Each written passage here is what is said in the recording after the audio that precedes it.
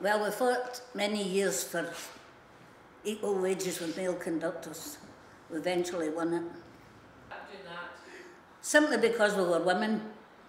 We weren't entitled to the same wages as men, although you were doing exactly the same job. I mean, in bus conducting, there was no argument that you were doing the same job. It was exactly the same job.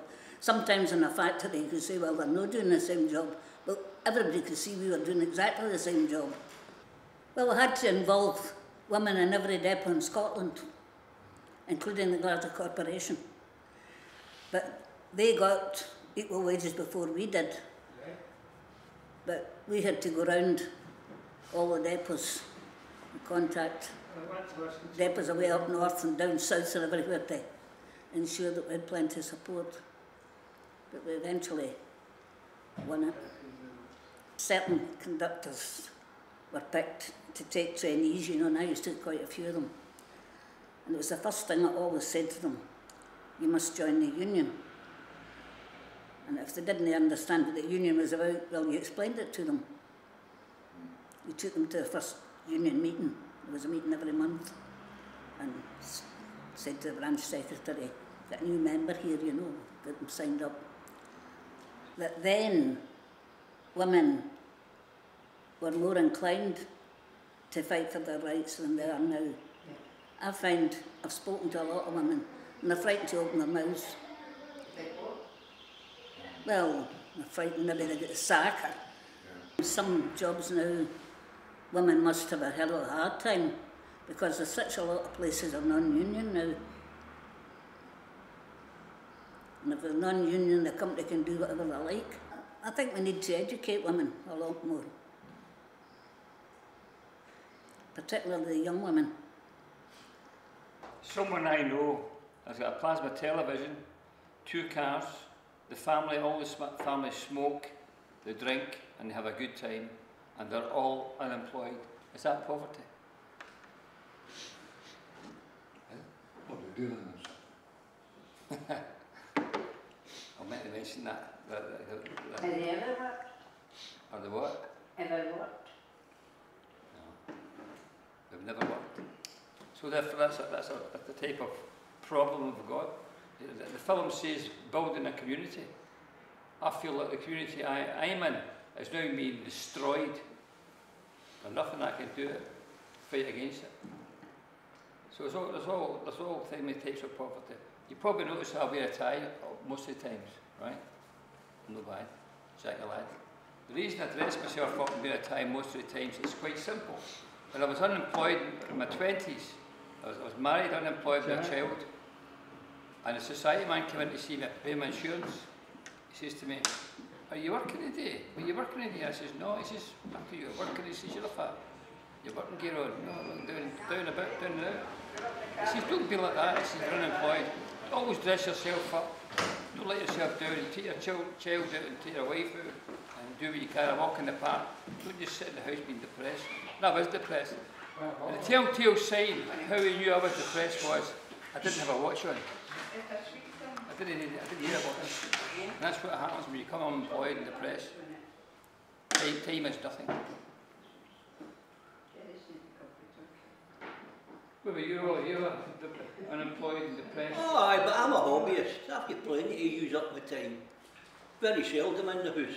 But my day of watching the telly starts at five o'clock at night. I don't turn it on during the day. Because I've got plenty to do outside to, to use up my time.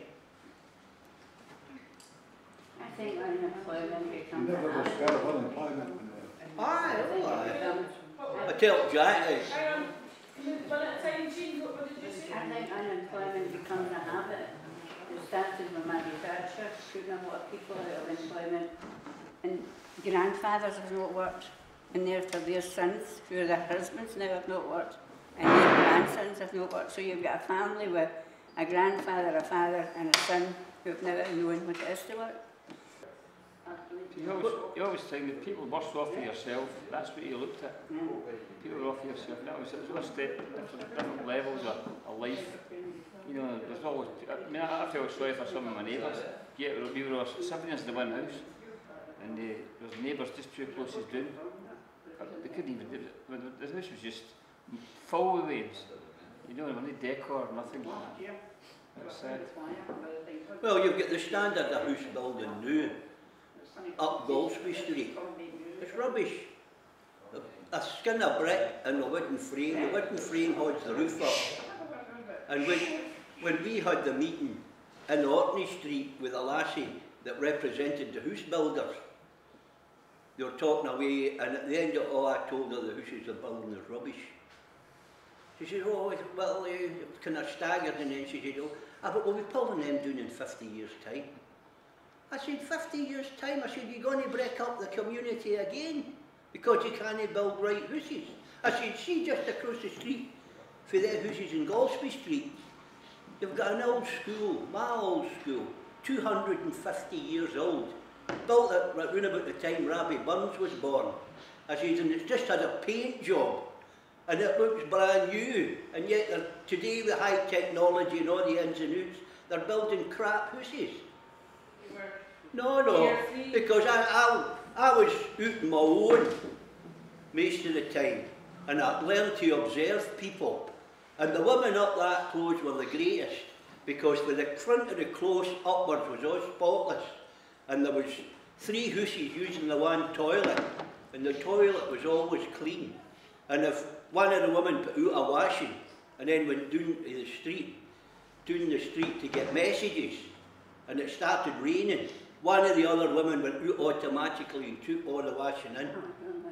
And uh, My mother, she was out working, and my grandmother looked after us to bring a wage into the house.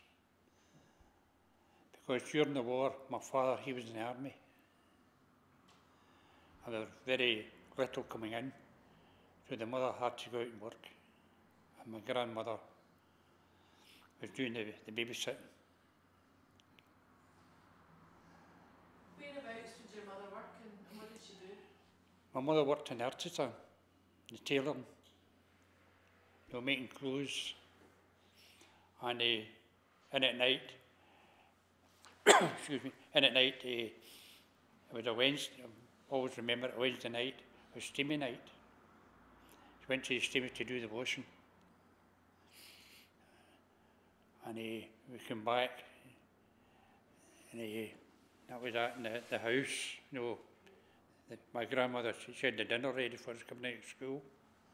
Made sure we went back to school, and at night again, eh, for tea time, the mother was finished work, came in, and it was a shame, you know, going to steamy to do, do the washing. And he put it round the back, get it dried, ironed, and he,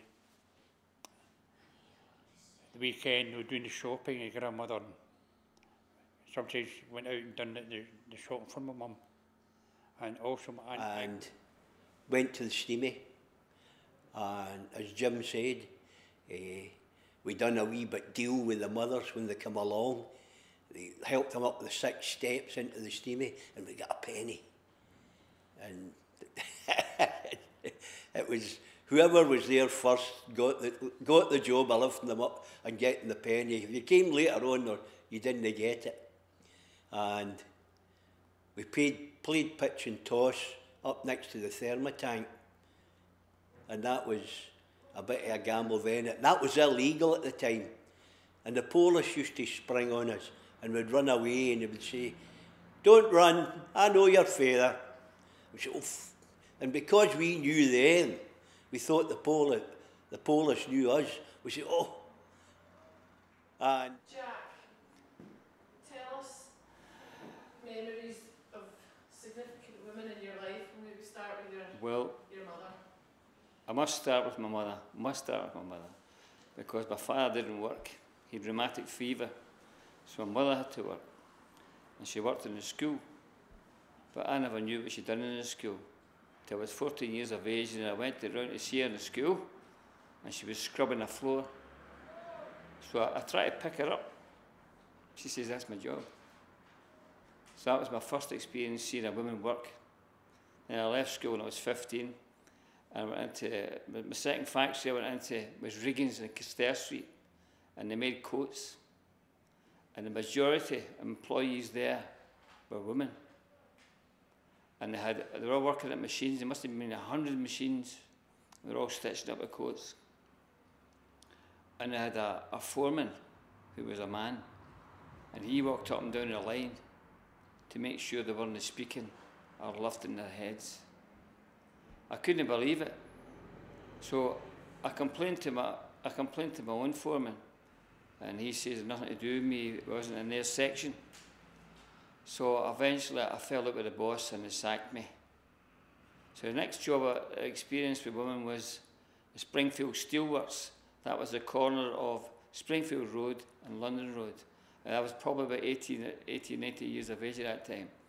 And the crane, it was a steelwork, and the crane went from inside the factory out to the yard.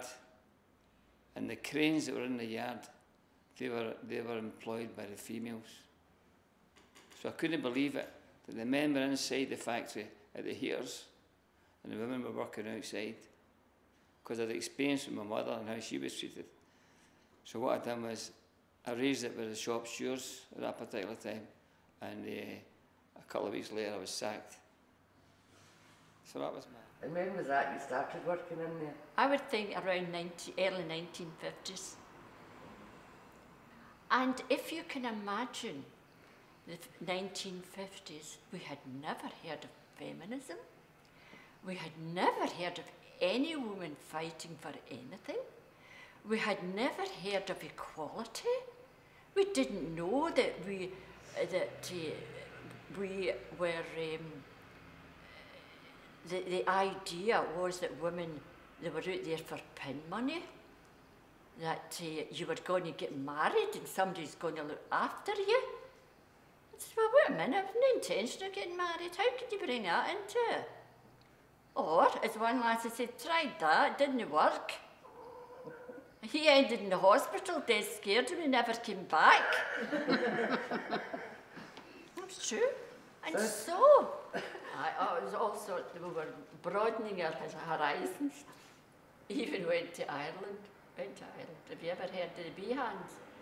Uh, You ever heard of them? What, Marion? The Behans. Uh-huh.